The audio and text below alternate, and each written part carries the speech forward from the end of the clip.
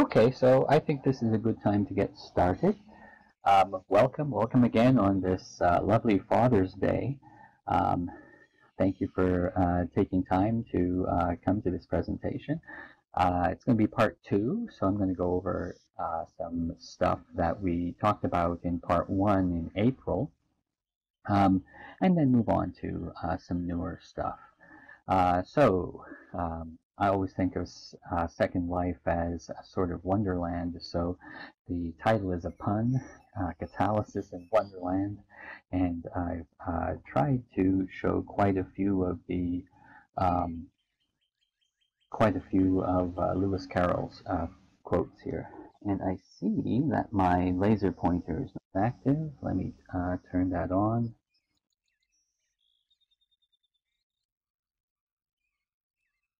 And there we go. Okay, so taking it away. I use some jargon. Um, this talk is, um, um, I'm going to recycle it for my Chem 511 class, the graduate organometallics class. Um, and it's going to form some of my introductory uh, material. I want to talk about catalysis as introductory material. We usually get to it right at the end of the semester, but it's the most interesting part, and it's why we do um, organometallics. Um, I'm going to talk to you a little bit about um, a number of Nobel Prizes in this field that have been awarded in the last uh, 60 or so years. So, what are organometallics? Well, other than being a scary word that gets some people kind of excited, um, it's um, a class of compounds that, strictly speaking, contain a metal-carbon bond. Okay, in, in practice, they're going to be the ones that show uh, the reactivity that metal-carbon bonds do, including uh, for metal-hydrogen bonds, metal NO, something that is near and dear to my heart, metal phosphorus bonds, a few others.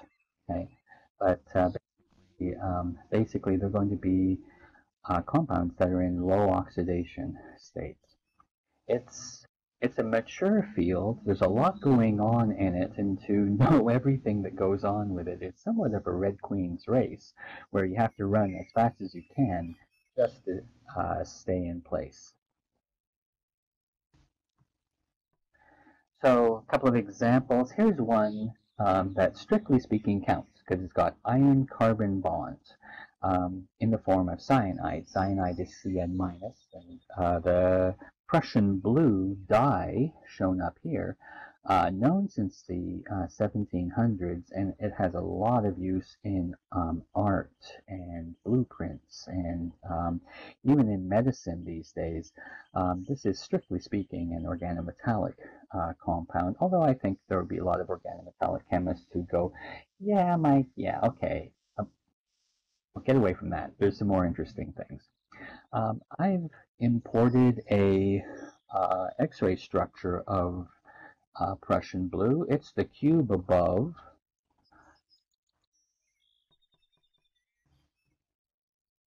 And um, I, have simplified that structure a little bit. There's water inside uh, the cube. Um, so here, here, here, and here. These are supposed to be water molecules. This particular structure had some disorder. Some of the cyanides were um, disordered or re randomly replaced with um, waters. And I've just shown three different representations. And so I'll just pull down the cube, edit, and then we move. This is one thing I wish we could do in real life. Really, I haven't smashed anyone with the cube. Um, resistance is futile. So each of the vertices represents an iron atom, and um, the uh, lines between the vertices represent cyanides. Uh, the gray, I think, represents carbon. The kind of orange rods along the sides represent uh, nitrogen. As you can see, each um, each carbon atom, I'm sorry, each iron atom is uh, connected to another iron atom through um, a cyanide. Beautiful stuff. This is used in medicine. Um, it'll um, absorb toxic things like cesium and thallium, um, and uh, Prussian blue analogs are used um, or are being researched um, as uh, nanoparticles to deliver drugs to various body. I'll move that out of the way. That would be very inconvenient. I would love to be able to do this sort of thing in real life. Just have a big old lecture hall where uh, models can just be pulled out of the sky. Okay, so that's out of the way. Um, next slide. Um, really, the field started with ferrocene. Um, this is an iron compound. It's actually uh, got the formula C10H10 iron. It's a class of compounds called um, sandwich compounds because there's an organic group up here, an iron atom, an organic group down here. And Wilkinson got the Nobel Prize in 1973 for explaining exactly how um, this uh, molecule holds together. Uh, it's a very stable molecule. It's stable up to 500 degrees. It uh, is air stable, moisture stable. Uh, it's actually got a lot of organic chemistry going for it these days, uh, uh, including some uh, proposed uh, pharmaceuticals.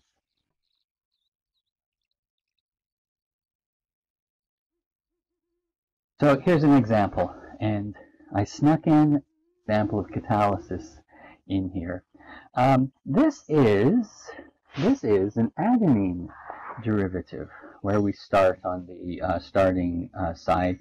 It's got uh, the sugar, and the sugar has just been modified with uh, trimethylsilyl um, trimethylsilyl uh, groups on to make it a little more easy to handle. But there's a um, whole class of um, catalysts called uh, palladium catalyzed coupling reactions, where essentially you take two organic molecules, maybe something that's a bromide like this one, like a C double bond something with a bromide on. And then in this particular case, I've got a C triple bond CH. You could do a C double bond uh, CH as well. And the palladium does some beautiful magic. Um, I think there's probably some uh, copper that they didn't put into this particular slide uh, solvent was methanol. They end up taking this um, CBr group, this CH group. They made HBr, that stuff went away. And then you got the uh, carbon-carbon bond formation right here. A big problem in organic chemistry is how to make carbon-carbon bonds. And so there have been so many um, studies on how to make carbon-carbon bonds, and some of the best ones are uh, catalytic reactions. I have a reaction that's similar that I've introduced into our fourth year inorganic laboratory uh, where we do take half a gram of the two starting materials and we put a milligram of the palladium in, a milligram of some copper in, and it just chugs through the um, whole of the uh, starting materials in no time flat to give us the coupled product. This ends up uh, being a way of making um, an adenine, adenine derivative uh, that can then be incorporated into artificial DNAs. And there's um, a whole bioorganometallic chemistry of ferrocene. Let's see, given that carbon-carbon bonds are so common, why is it difficult to create them in the lab? Um, to create them with specificity, to make them in exactly the position that you want them to be in the molecule. And as I'll talk later, in exactly the handedness is a challenge. Because there's so many carbon-carbon bonds in organic molecules, um, it becomes um, it becomes a problem to uh, construct the molecules in exactly the right way. So we build a number of tools uh, so that we can do that. Okay, uh, so most of the time the catalysis is hidden over the arrow, right? So we have uh, an alkene, ethylene, we've got platinum and hydrogen, and we make an alkane. Okay, um, the ene ended and E basically says there's a double bond. A ending alkane uh, basically says there's no double bond. We've simply added hydrogen molecule. Um, long ago, we figured out that solid platinum could do hydrogenation. Uh, so, why isn't platinum just used for everything? Well, again, it's selectivity. Sometimes you want to do some more interesting things with your chemicals uh, instead of just making toxic waste. Um, one of the wonderful things about transition metals is that they can bend the rules of classic organic chemistry. Um, and in the last lecture, I kind of talked about that a little bit um, in terms of uh, orbitals and where electrons can go. Um, you know, I think to summarize that, um, where electrons go in a molecule is controlled by where the various nuclei are, right? And it's just physics. It's plus charges and minus charges. The plus charges are big and massive and don't move around so quick. The minus charges, the electrons, move around real, real fast. Uh, since it's a small scale thing, there's quantization. The uh, energies of the electrons can only take certain values. Uh, and so that gives us a number of channels. We can look at different channels um, of um, where electrons happen to be. And in your organic molecule, you can upset those channels by adding a metal. So, you know, in my introductory talks to my students, I'm going to talk about oxidative addition, where you can take a metal and shove it into a maybe a carbon-bromine bond. Right? So it essentially kind of inserts. Um, there's consequences to that in terms of how you uh, count the electrons, um, which lend the process its name of oxidative addition. The reverse process, where the uh, metal gets squeezed out and the two things that used to be attached are now attached to each other. That's called reductive elimination. And it, those two reactions are a beautiful example of uh, something that we call uh, the principle of microscopic reversibility. Um, if you can make something happen in the forward direction, it should be able to happen in the reverse direction. Uh, well, why would it happen at all? Well, usually we do something in the middle, like an insertion, to change the conditions a little bit so that what used to be favorable in the forward direction is now favorable in the reverse direction. So this particular example, oxidative addition, insertion, reductive elimination, three reactions can be used to uh, make a cycle of uh, reactions that um, convert um, starting materials into products. Okay, and uh, the classic example, Wilkinson's catalyst, and I've built a model of Wilkinson's catalyst. Let's uh, bring that forward.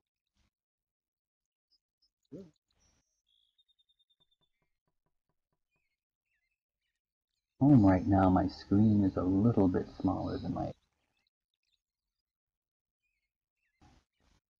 more awkward in placing objects. Okay, so essentially that's a stylized model. I've got a rhodium atom. Uh, if I click on this thing. Here we go, we've got an animation. And we'll let it cycle through.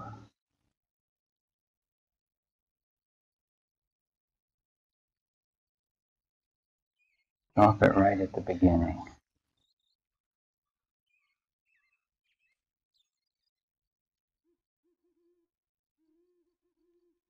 Okay, so that's kind of at the beginning. And what we've got is uh, a blue and a red ball attached to this shiny ball. That's the rhodium atom. That's the hydrogen. First thing rhodium is going to do is split the hydrogen. There we go. It then isomerizes, so the um, atoms rearrange a little bit.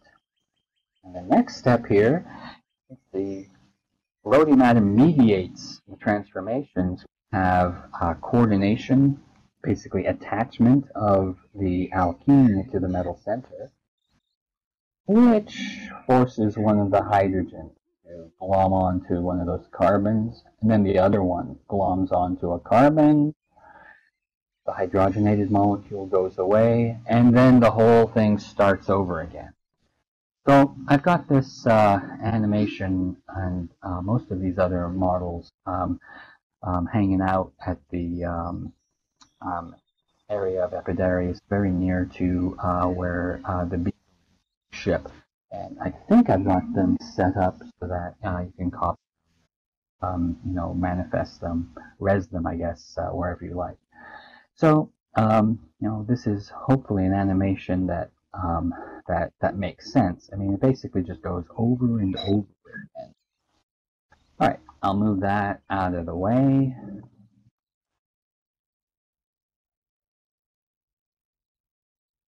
Rhodium atom on its own. It had all that kind of donutty looking organic shrubbery.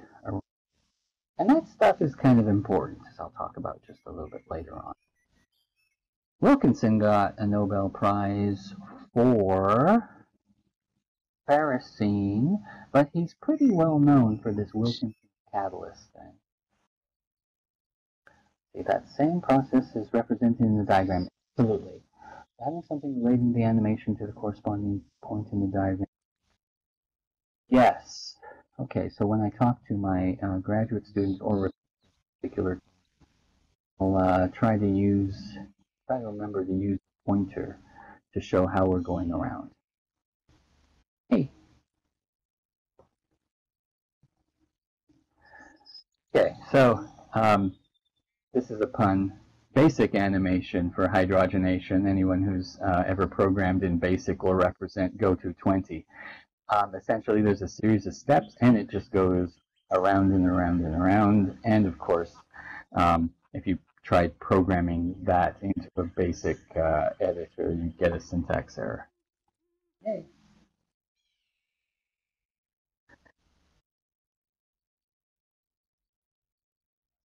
So um, one of the things that uh, happens in Wilkinson's catalyst is that the hydrogen atom slides over to a carbon atom um, and then gets peeled off. Thing is that um, carbon atoms that are directly attached to a metal can also slide onto another carbon atom. So um, in that case, you can get the ethylene inserting over and over and over again, and that would lead to uh, polyethylene. Right? So um, I probably should have put an N in front of the uh, little uh, double line here that represents um, CH2 double bond CH2 uh, to represent uh, you know how many of these um, CH2 CH2 get together. A good catalyst is going to give you a hundred thousand or so uh, of these units strung together, a very long polymer. A good poly uh, catalyst is not going to have any kind of branches coming off at random points. Um, good catalyst is not going to give you short polymers. There are mechanisms by which short polymers can, can be made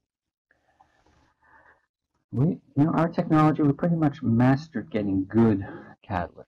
These things called ansa metallocene are among industry standards today. And I've got a uh, model ansa metallocene right here. Edit. Now let's see if I can bring this forward without uh, crushing any of the onlookers. Go up a little bit. Okay. Yeah. It needs to go back. And what makes this an ansa metallocene? Okay, well, ferrocene, I showed you before, is a sandwich compound. So a metallocene is a sandwich compound. It's got two kind of flattish organic groups of the metal in the middle. The make, is because those two things are attached to each other and are no longer parallel. They have an angle between them. Okay, so they're kind of tied back. Let's see. Need to rotate this. Wow. Looking at it from the front, big donut, the big green donut, is supposed to represent a growing polymer. The ground, I've got some extra ethylene molecules. Actually, there's not ethylene, it's propylene. What's the difference? Well, ethylene has two carbons, propylene has three carbons, and I'll talk about one of the major differences in a few slides. But for this guy, I've tried to kind of show, here's where we start. Ethylene inserts, another ethylene binds inserts, binds inserts. Yeah, this is not the best animation. I'm working on uh, better animations uh, using uh, Unity. Um, and in fact, if I tried to uh, put a few more ethylenes, this, uh, this, this animation crashes. You can see as a feature the growing polymer shifts from one side of the zirconium, it's a pink thing is a zirconium by the way, to the other. Okay, in kind of a windshield wiper effect. Um, the large groups at the bottom, like near the ground that are attached, um, if they're big enough, they direct the growing polymer to always be growing up towards the sky. That has um, that has consequences on the exact arrangements how these things insert. All right, making me dizzy.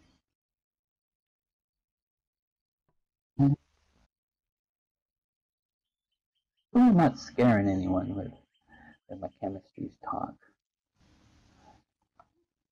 Not that scary. Well, except for the toxic waste. okay. Uh, backspace, where am I now?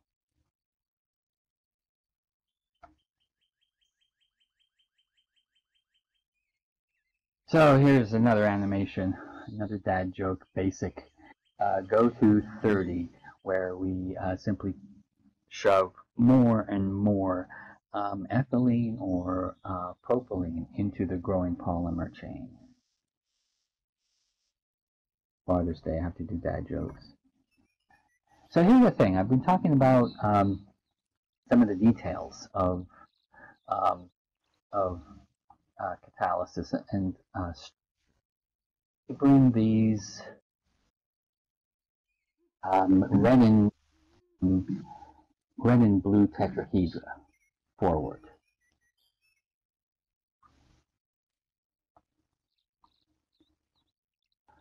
Okay, a little bit awkward.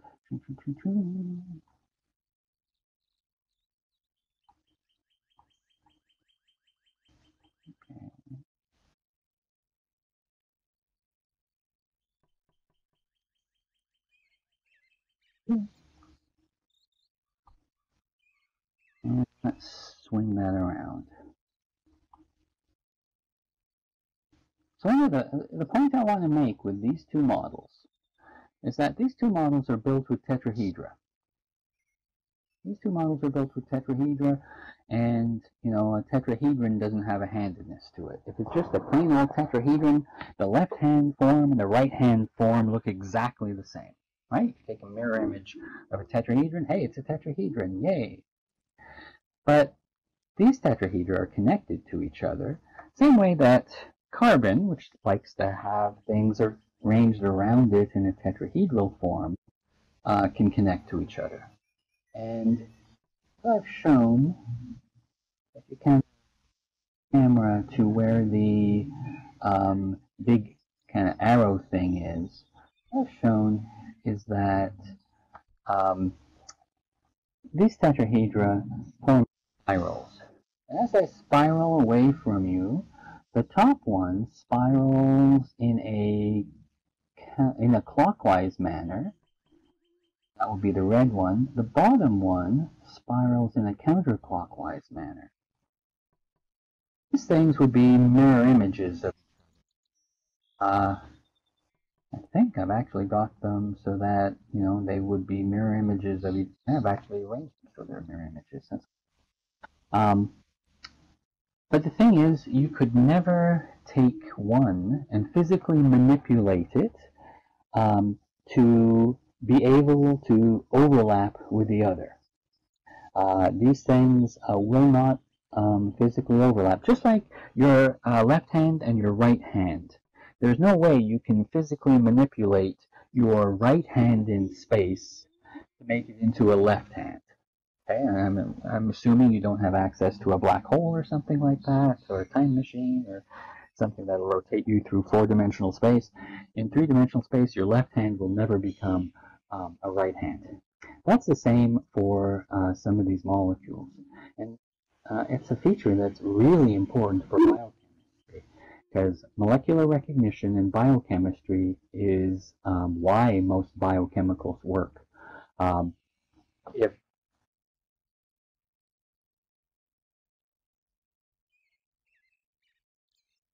handed form of a molecule and you feed it the left-handed form of a molecule, it will not uh, recognize it. So one of the wonderful things about a catalyst is that it can leave an imprint of its handedness on the product. There are or, strictly organic ways of making polymers. Uh, radical condensation, um, con there are radical polymerization, there's condensation polymerization, there's carbanion methods. Um, but none of these have the ability to control the handedness as new molecules of ethylene or propylene are added. Well, yeah, and you know, my uh, my chair that I'm sitting on, I'm a bit disappointed with it because it's it it doesn't seem to be a left hand or a right hand. I was I was hoping to use it as a example of handedness, but but no. All right. Okay, so uh, a little bit about handedness. So I've got a molecule here. It happens to be, I think, uh, 1-chloroethanol. And there's a left-handed form and a right-handed form.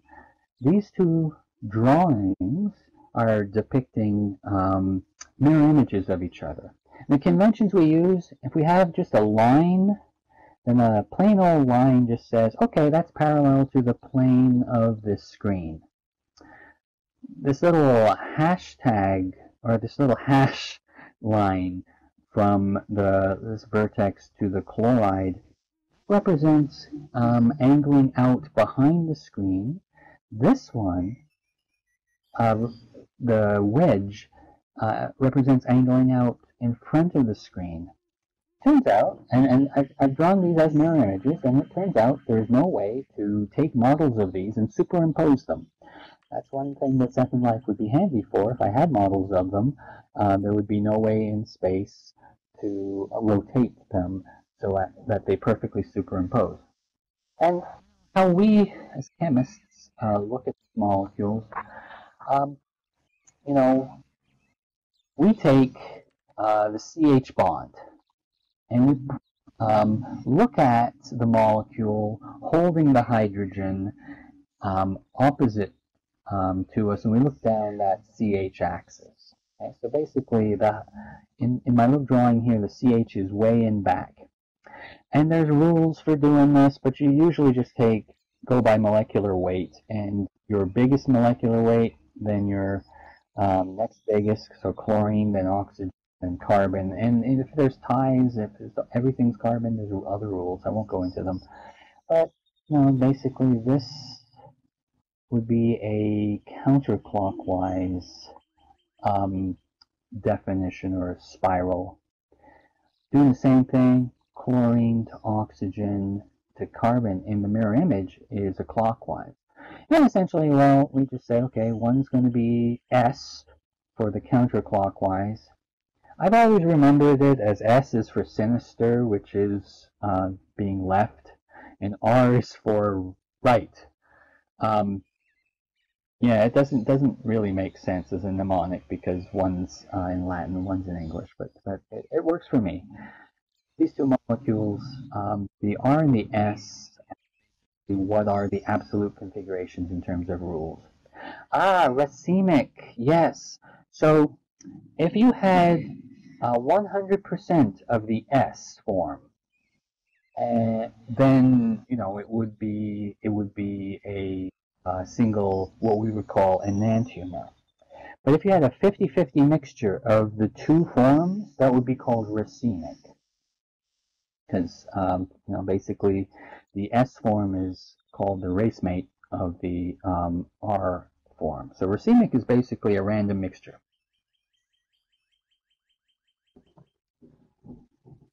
Hey, there's inorganic handedness as well. So carbon does uh, tetrahedral. Um, what we usually do here is um, for um, octahedral complexes, here's a special case. The metal has six things attached. Octahedral simply means you got something on top, on the bottom, to the left, to the right, and in front and in back. Let's say you've got three different flavors of things attached. You put one flavor in the back, and then you see where the thing that is on the top goes. Does it go to the left? Or does it go to the right? And for inorganic chemicals, instead of R and S, we use capital lambda and capital delta. So here, capital lambda would be left, and capital delta would be dexter. So, yeah, it, it doesn't make sense in terms of how the Latin um, and, and together, but you know, it, it, it works for me. Um, there's also D and L, these, these uh, smaller um, lowercase letters.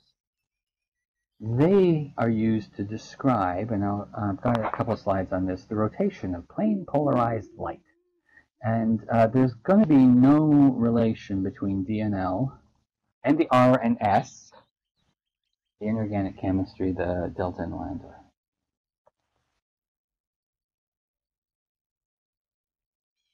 This uh, handedness is a fundamental property of organic chemistry um, that was discovered a long time ago, discovered before um, atoms were accepted, right? 1850s, um, you know, the atomic theory was still just a theory back then. Um, it was discovered um, before um, it was really known that carbon could be tetrahedral. In fact, this uh, was evident for the tetrahedral carbon or tetrahedral nature of carbon. Um, so it comes from tartaric acid, and tartaric acid can exist. There's actually several uh, structures of it, but I've shown L and D. And one of the wonderful things about tartaric acid is that if you take um, this hydrogen off and this hydrogen off, replace them with uh, a sodium, which is Na+, plus, and then ammonium, NH4+. plus. That substance, the sodium ammonium tartrate, okay, that substance crystallizes as single enantiomers. So one form, the left-handed form, forms its own set of crystals. The right-handed form forms its own set of crystals. This is really unusual. Um, most of the time, if you have a left-handed form and a right-handed form, they will get together to complement each other to form maybe something that packs better in a single crystal. But um, Louis Pasteur found sodium ammonium tartrate, gave you a left-handed crystal, right-handed crystals. He could pick them apart with uh, tweezers and then do some tests on them. Um, for the test? Very simple, actually.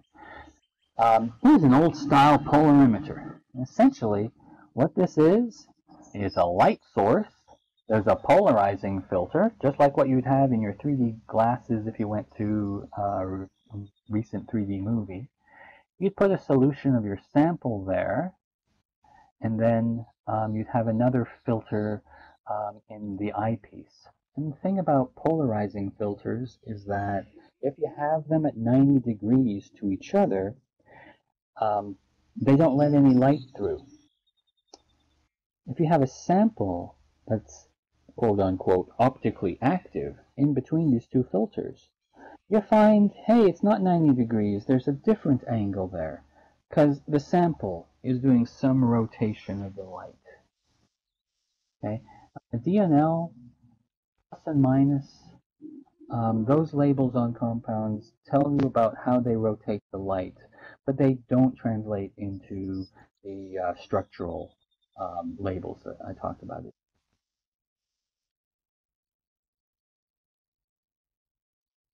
In the Journal of Chemical Education, a beautiful demo, I just had to share it. Um, cell phones emit polarized light.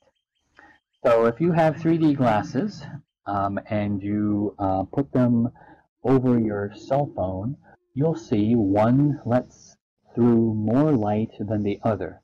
Essentially because, um, you know, uh, the cell phone is going to emit polarized light. That light is going to tend to line up in, I don't know, let's call it the vertical direction. The vertical lens on the um, 3D glasses will let light through. The horizontal lens, well, if the horizontal lens only lets horizontally polarized light through, and the cell phone's only emitting vertically polarized light, no light's going to get through. The beautiful thing is that um, Dr. Thompson recognized if you have a Petri dish with a sample in it that's optically active, like all of these handed molecules that I've been talking about, um, you'll have to rotate that um, polarized uh, lens a little bit to be able to, um, you know, get the full darkening um, effect. So uh, this is a beautiful demonstration.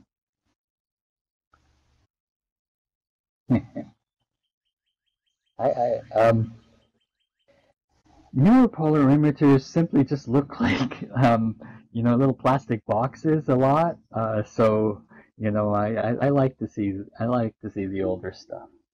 But um, the left-handed form and right-handed forms they, they really do remain um, significant challenge to organic chemistry. And this is a uh, article that came out I think only a couple of weeks ago, like May 31. Um, and uh, these folks have uh, tried to develop a gaming app to uh, show um, to show chirality. So, so getting back to uh, polymerization, um, propylene with three carbons. When you have four things attached to a single carbon, and all four of those things are different, then you have a recipe for handedness. It's going to be left-handed form or right-handed form. So propylene itself has a mirror plane, right? Because it's a planar molecule, so the plane exists in.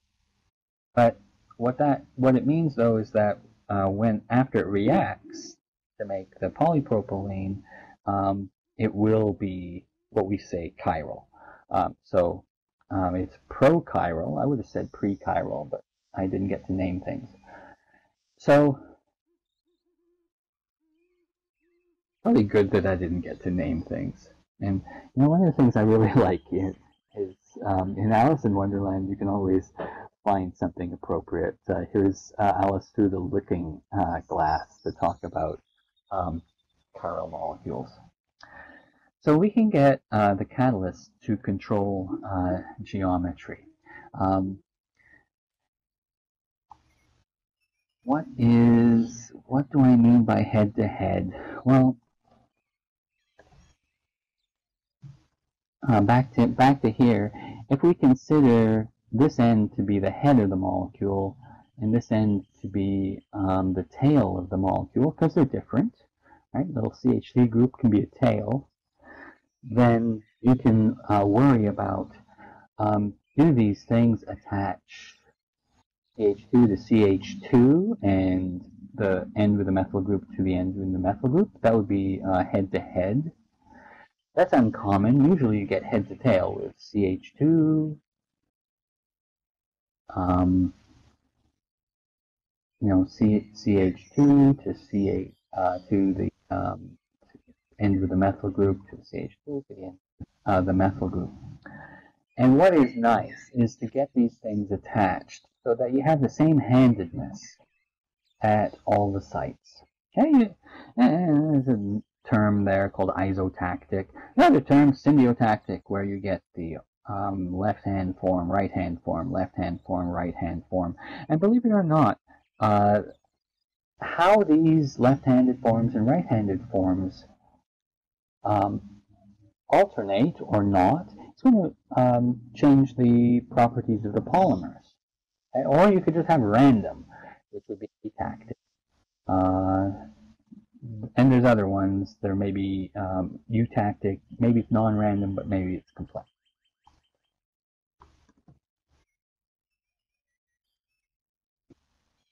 So, um, I showed the zirconocene animation. I kind of thought of it as a mad tea party. In the story, uh, every so often, um, they all get up, run around the table, and find new seats. And that kind of reminded me of what was going on with the zirconocene catalyst.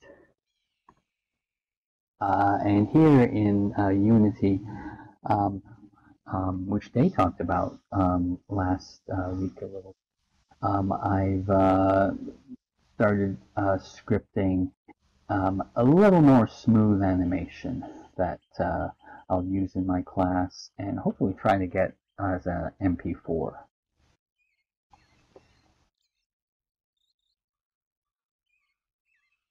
All right, and talks a little bit about um, a little bit about the properties of the syndiotactic polypropylene superior uh, properties, um, you know, basically um, better better stuff and more easily uh, uh, recycled.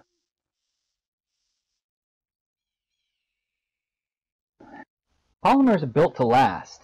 Okay, so uh, PBS uh, recently had a series, and uh, they reported that the equivalent of a dump truck of plastics goes into the oceans every single minute. Every minute of every day, and that's that is a lot of plastic. The same catalysts that are used to make these things cannot be used to cook them. Uh, the catalysts themselves are air and moisture sensitive, uh, so um, you know there's just no way that they could be used to unzip all of the polymers into their starting materials again. It would be nice. I think people are uh, looking at ways of doing this, including biological ways. I think uh, SR was looking at that um, on the last time we spoke. So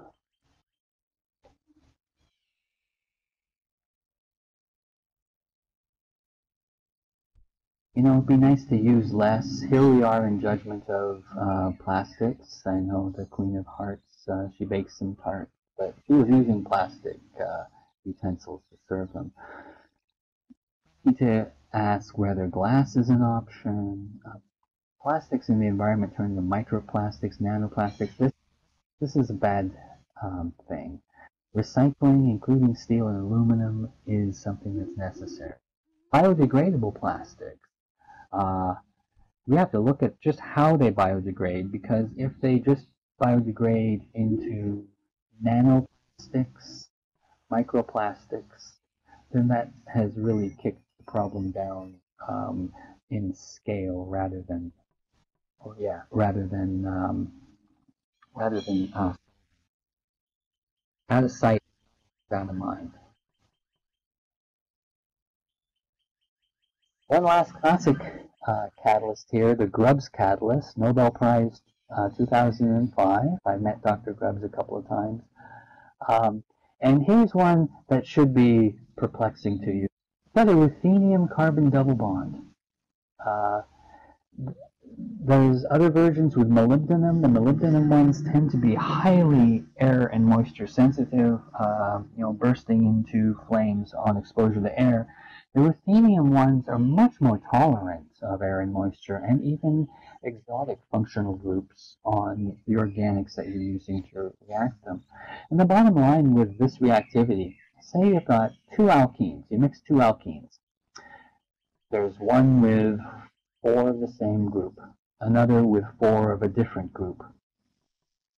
What will happen is that this catalyst breaks the carbon-carbon double bond, essentially, and scrambles the uh, two starting materials. Uh, this is an equilibrium, and uh, you know if you can you know, usually what happens is that you go in the opposite direction. You get maybe a CH2 double bond something interesting, and the ruthenium will give you a CH2CH2, which bubbles away, and then the two things that are interesting uh, end up attached uh, to each other. So uh, this is called uh, alkene metathesis, and it's become a key um, key tool in carbon-carbon double bond formation in the last uh, little while. Um, so for uh, making elastomers, like bouncy plastics, um, ring opening reactions by this uh, catalyst are very important. So ROMP here is ring opening metathesis polymerization. And you start with something like, that's a molecule of dicyclopentadiene. Now what it can do, I don't know why this bottom one doesn't react. I think it does, and so you get some cross-linking. But what it can do is basically take one of these um, double bonds and um, open them up so they attach to the next molecule. And this, because the double bonds have uh, force certain geometries on the molecules, uh, this ends up giving you a little more um, compression and bounciness to the final polymer. Nickel bounciness. So, and you know, if we look at how this uh, start off with some catalyst, it's got a ruthenium carbon double bond, and then the next double bonded molecule comes in, and it forms this four-membered intermediate the ruthenium going to the first carbon, and then, yeah, and the double bonds have kind of um, shared a bond um, in between them so as to form the four-membered ring. Four-membered ring has no memory and can split off the um, the mixed unit, right? The bond here, and we break a bond there, then we get this guy no real difference in reactivity between this structure at the bottom and this structure at the top. Right? So uh, you might ask, hey, what if one of these comes in? Well, if one of those comes in, you'll still get this. There will be no change. So you don't even have to. Um, it forms a four-membered intermediate. There's no memory. So if the bond breaks there and there, then again we get more mixed and we're back to where we started with. Um, for me, being able to just cut apart double bonds is, is just fantastic. This is something that I never dreamed of when I was an undergraduate. And so finally, at the end, um, talk a little bit about nanoparticles. Um, so the newer directions in this chemistry are to figure out uh, what happens at surfaces. Right at the beginning, I talked about hydrogenation using uh, platinum metal. Well, the platinum surface is what does the hydrogenation. All that platinum on the inside of a big particle is just wasted. So a big move to find out what's going on um, on surfaces has been to look at nanoparticles.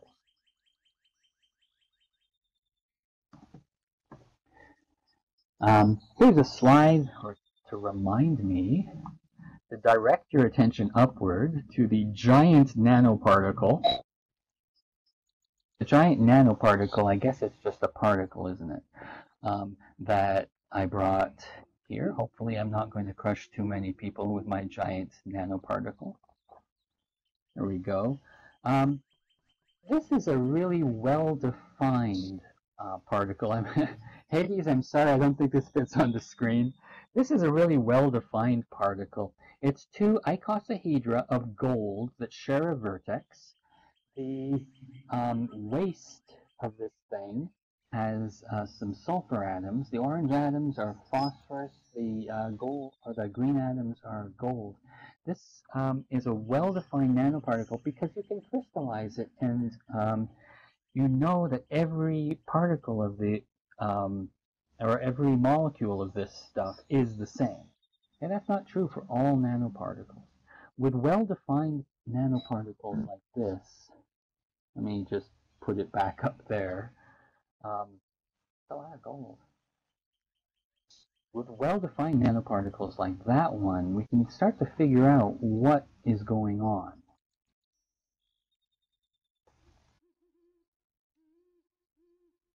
So, um, just um, looking at the looking at the surface of this chemistry just a little bit. Um, here's four types of nanoparticles. This particular paper uh, published in American Chemical Society, ACS, Catalysis. A whole journal on catalysis from the American Chemical Society, published in 2014. Um, nanoparticles that have been found to have uh, these um, particular shapes. Uh, they have surfaces, and the gold atoms on the surfaces, particularly easy to make gold nanoparticles, by the way, but uh, the gold nanoparticles on the surface, some of them are on um, an edge, some of them are in a face, some of them might be defect sites on a, a corner. They all have different reactivities that we now have the technology to probe. Go into those uh, in too much detail. Maybe this would be a great talk for, or a great thing to do a separate talk on. Um, and how do we know what these nanoparticles look like? Well, we can basically take um, um, eh, electron microscope images of them and uniform um, microcrystals of these uh, nanoparticles, all with these kind of different shapes. So little rods, little starry type shapes, uh, starry type shapes that are um, kind of fused on the face, and then ones that are more uh, spherical. Okay, and so you know we can prove what sort of um, shapes these things have and they're small enough so that we know what sort of environment the atoms are, are in on their faces. So here's a paper. They were catalyzing, uh, don't, don't quote me on this, I think they were catalyzing carbon monoxide turned into methanol or something like that. Um, each, each column, this is the particular shape from the nanoparticle. This would be the data that says there's some catalysis happening these things are measures of the different sorts of catalysis. My point with this particular slide is that the different environments give you different um, reactivity, but the reactivity is stuff we've worked out from those smaller molecules like Wilkinson's catalyst and the ansa metallocene and the palladium catalyzed coupling reaction. Um, all of those molecules happen in the solution state at single um, metal atoms, and we were able to figure out what's going on um, using uh, the traditional techniques, spectroscopic techniques, um, and um, come armed with that knowledge into this nanofield um, chemistry.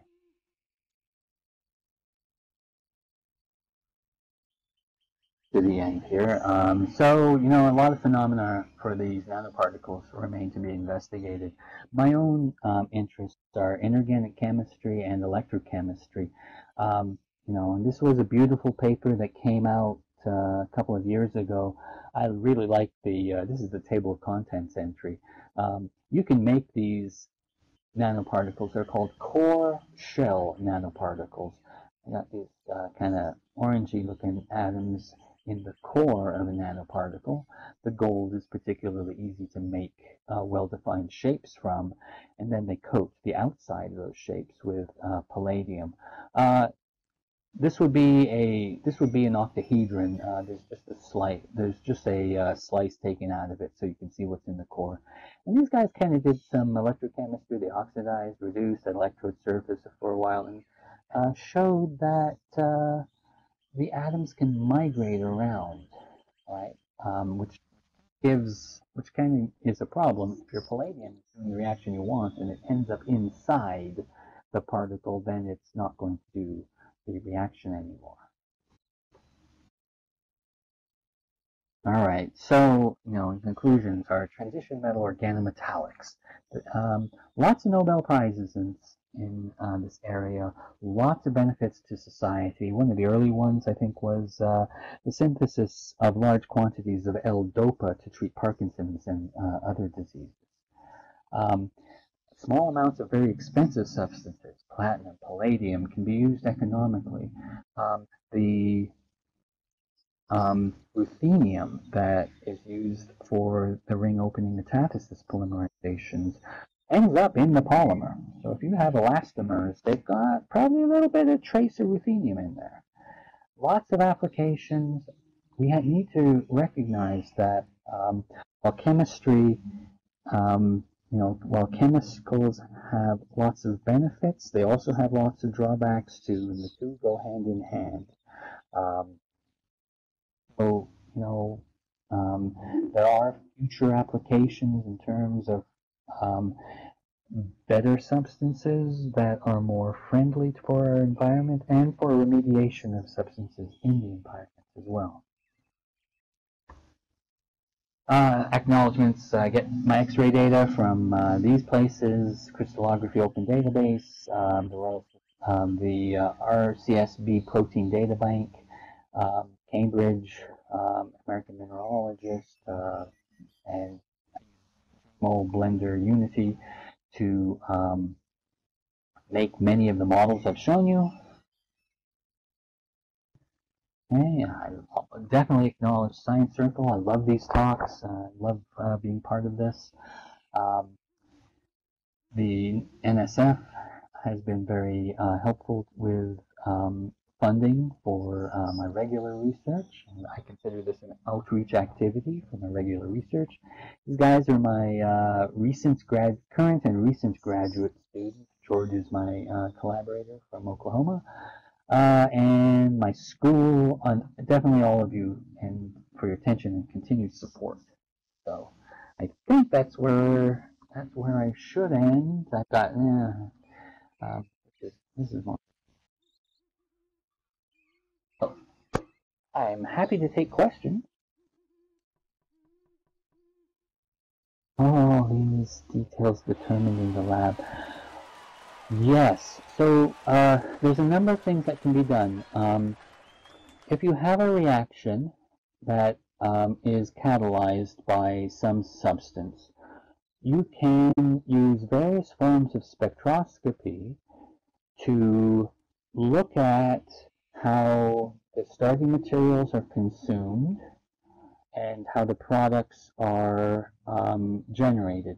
So, for example, you could use UV-vis spectroscopy if there's a color change, or infrared spectroscopy um, to look at how, mo how um, molecules vibrate. Right, so each molecule has a fingerprint of vibration. Maybe there's particular wavelengths that are indicative of um, its presence. Spectroscopy can be used to quantitate in terms of uh, getting um, concentrations. And if you plot concentration versus time, you can do some nasty math and get back to what the rate determining steps are, which tend to involve the transition or the, the catalysts themselves. Um, we can also use magnetic resonance uh, techniques for the same purpose. Um, so a lot of a lot of what we know is spectroscopic. The other things we can do is change the concentration. So if you have a catalyst that takes two things and couples them together, what if you only put one thing in there? And then you isolate and crystallize and get the structure of the, um, the metal complex that results then. That gives you clues. So there's a whole lot of experiments that are spectroscopic and synthetic.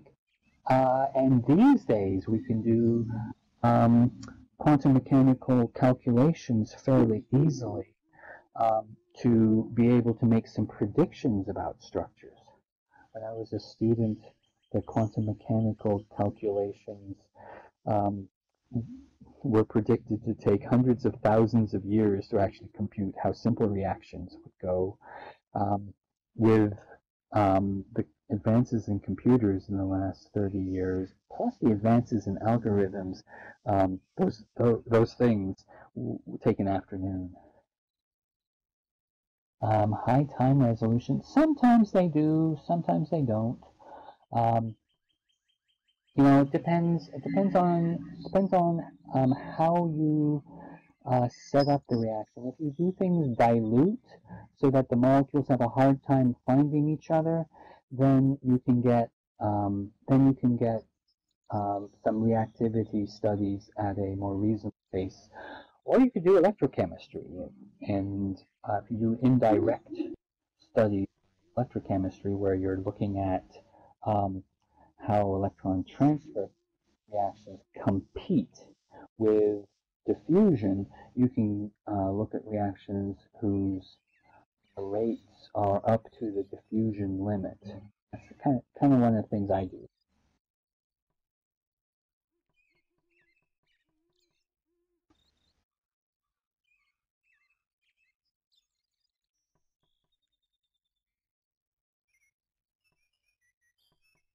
Like Blender.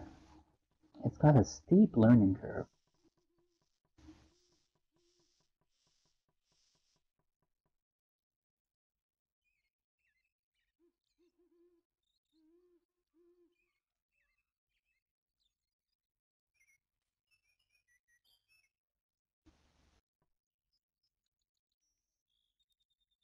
Alrighty.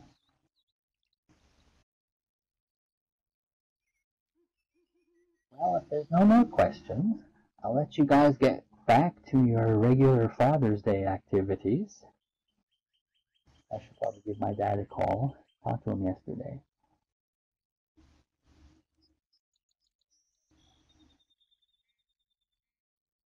All right, Suzuji, thank you for coming.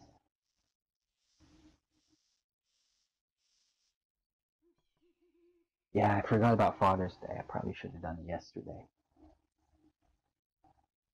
Cool.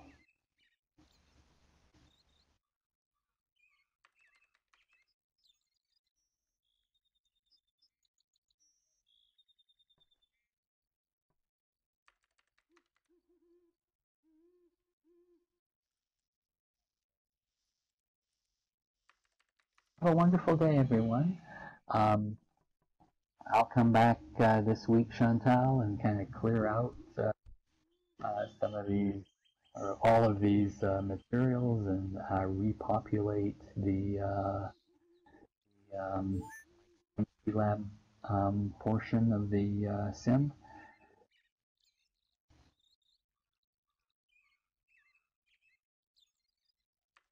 All right. Cool. I think well, we're going to go off and have coffee somewhere. So everyone has a great day. I'm to uh, stand up and log out. Well, maybe I'll reset. Slash one one. There we go. Reset this guy. Okay. Excellent. And I think I've got all of these objects um, that so people can uh, copy and um, I want to say paste, but um, you know, um, make uh, you know take your own copies if you like. Uh, you know, basic, and a lot of these have um, if you click on them, notepad, note, um, notes, notes show up. Alrighty, all right, guys, stand up and we're going to go off for coffee. So, again, have a great week, and uh, we'll see you later.